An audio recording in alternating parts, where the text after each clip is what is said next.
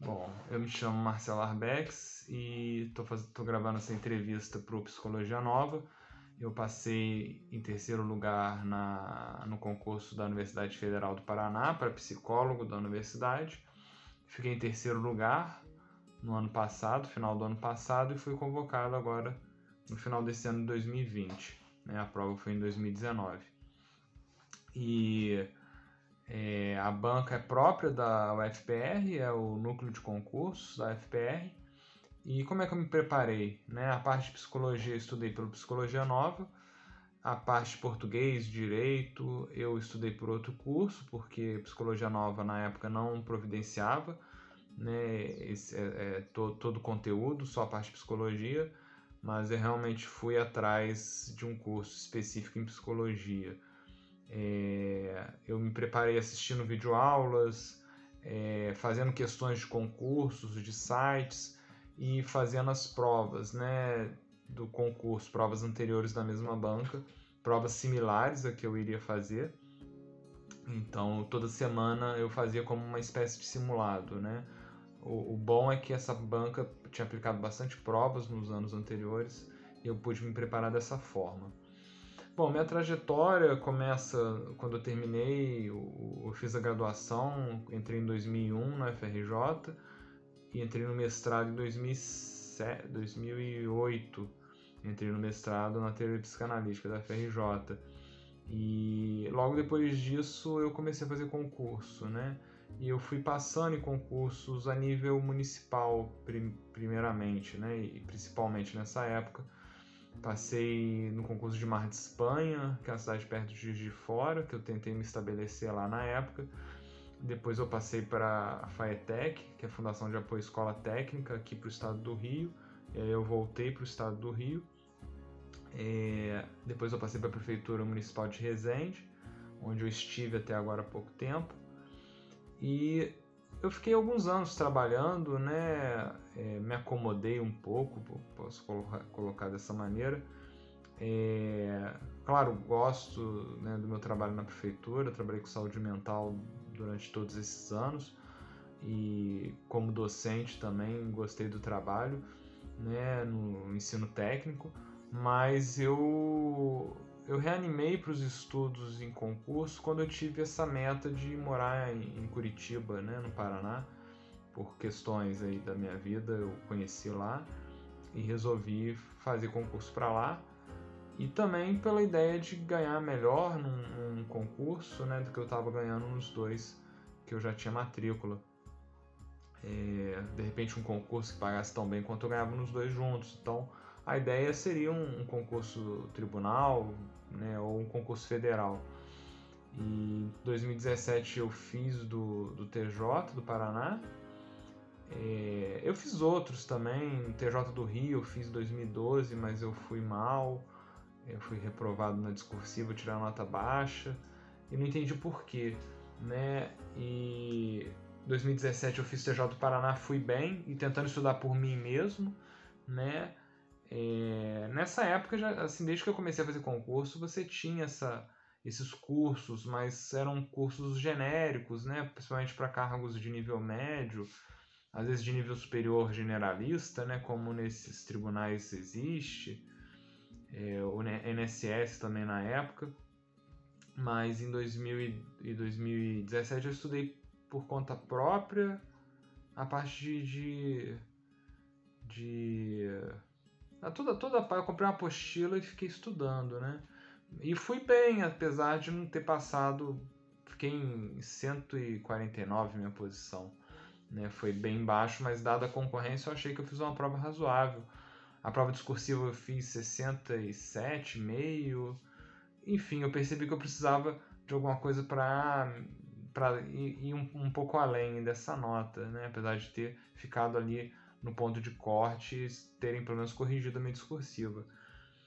E depois começou a surgir esses concursos para universidades federais. Né? Teve primeiro da UF, e foi acho que 2018. Eu sou meio ruim de data, mas enfim. E era um concurso que tinha bibliografia certa de psicologia.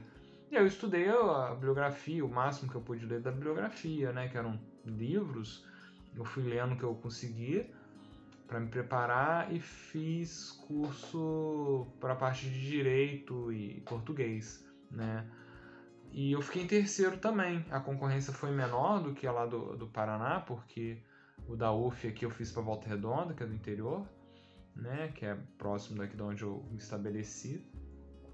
E é, e aí, conversando com as pessoas, né, eu, né, as pessoas passaram na minha frente, é, eu fiquei até próximo da, da, de uma pessoa, ela me falou do curso do Psicologia Nova. E aí, quando surgiu essa do Paraná, da UFPR, eu, eu fui estudar pelo Psicologia Nova, né? Então, eu fiquei em terceiro também, mas é, foi mais concorrido e por ser capital tinha mais demanda e acabaram me chamando, né? É, o Psicologia Nova me ajudou muito a entender o que é estudar para concurso, que não é você estudar o livro, né? Claro, no da UF, por exemplo, eu estudei o livro porque estava na bibliografia, mas eu li um livro... É, a parte que eu li eu errei na prova, porque você tem que ter um método, né? Não é uma leitura livre, não é uma leitura nem a leitura acadêmica, né? Que mesmo a leitura acadêmica você tem que ter um método, mas é uma coisa muito mais aplicada, é uma coisa que você tem que criar uma técnica de memorização. Então acho que o curso que eu comprei era curso para universidades em geral. Percebi que tem uma expertise própria do, do, do, concurso público, né? O professor Alisson me ensinou isso, principalmente, além, de, além do conteúdo, mas essa ideia de que você tem que estudar focado, tem que estudar com método, fazer questão e não é qualquer questão, é questão daquela banca. Você pode ter o mesmo conteúdo, a mesma, uma mesma questão com entendimentos diferentes da banca, né? Então, eu acho que principalmente me ajudou nesse método. A questão de videoaula eu acho muito interessante. E, por exemplo, para a UF foi a única coisa que eu, que eu estudei foi videoaula, mas e para a UFPR também, mas mais recentemente eu percebi o valor de ler as apostilas, né? É, porque a videoaula você assiste fazendo, lavando louça, tomando banho, eu tenho esse costume. E, e você assiste realmente bastante aula dessa maneira. Agora, ler apostila você tem que ter uma dedicação, mas é necessário. O que eu fiz na FPR era assistir a videoaula com um caderno anotando, né? Que não é essa coisa, claro, é importante assistir uma primeira vez, você pode não estar tá tão ali, tá, de repente está fazendo alguma tarefa manual, repetitiva, mas em algum momento é interessante se anotar para poder depois consultar. Né? Uma outra coisa que eu fazia, faço ainda, né?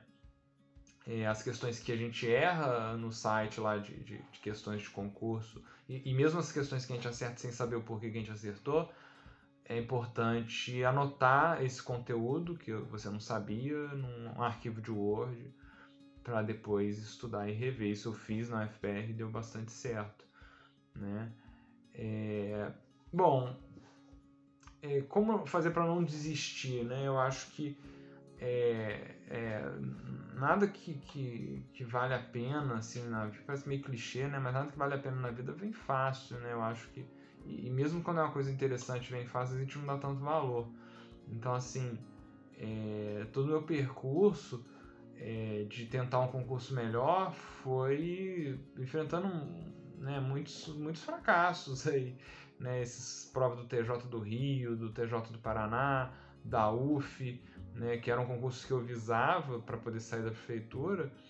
É, eu bati longe alguns, alguns eu bati na trave e a gente aprende com os erros também, né? Uma coisa clichê, mas que é verdade, né? É, poder rever o método de estudo, né?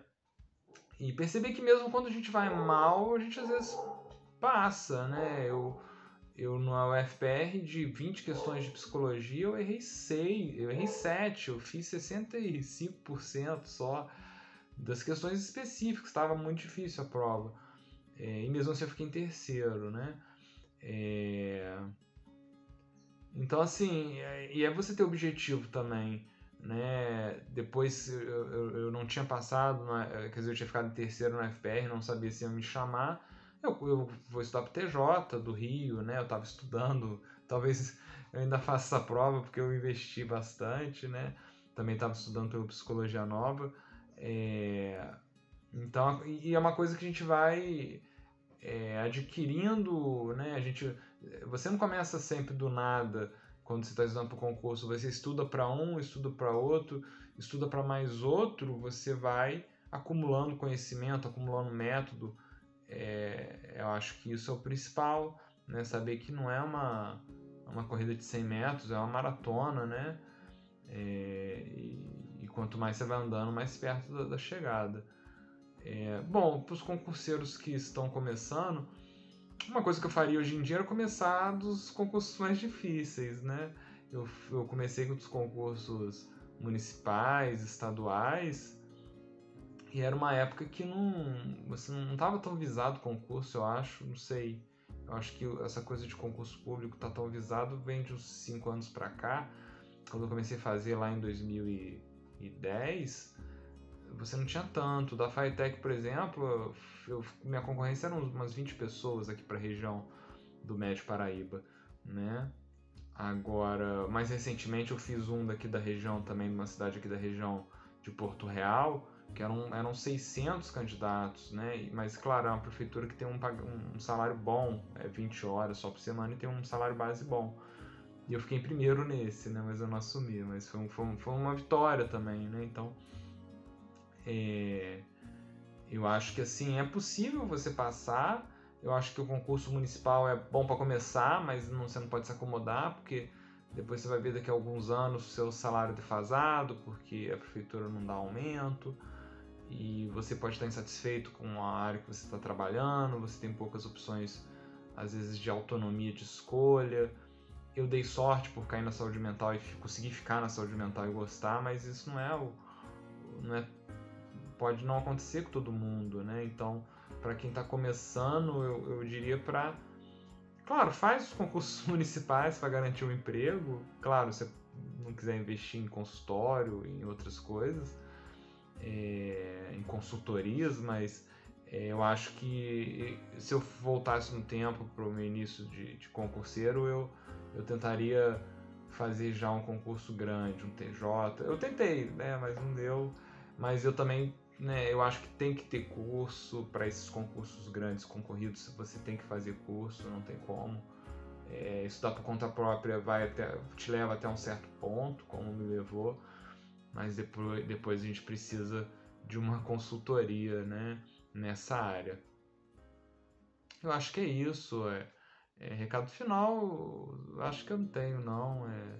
É, é isso. Já tomei, eu só gravei essa mensagem agora porque eu já tomei posse, já me desvinculei da, da, do meu cargo aqui na prefeitura, mas mensagem final, acho que espero que o, o servidor público continue valorizado, que não se passe uma reforma administrativa que, que acabe com, com vantagens, entre aspas, mas que asseguram um bom trabalho, como a questão do, da estabilidade, que o período probatório não, não se torne 10 anos, as coisas absurdas que estão querendo passar, e que, e que, o, que se valorize também as instituições públicas, né, no sentido de que se querem privatizar todo é direito.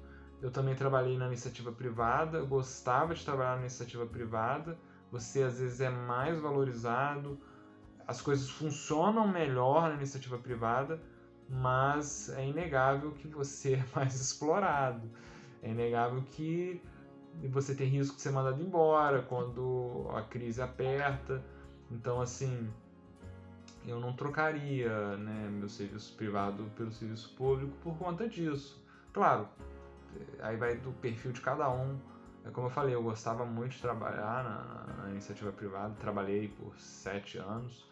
Eu também estou saindo porque eu estou me mudando aqui do estado do Rio. Eu gostava bastante, mas é uma, uma outra realidade. Então, assim, eu acho que algumas coisas públicas têm que ser mantidas por, por inúmeros motivos. Mas, enfim, não vou entrar no discurso político. Eu acho que esse recado final eu precisava falar. Ok? E, assim, se alguém quiser contato comigo, me procura no Facebook, Marcelo Renoir Bex. Pode mandar mensagem. É, eu sou eu sou acessível aí, quem quiser tirar dúvida. E, e é isso.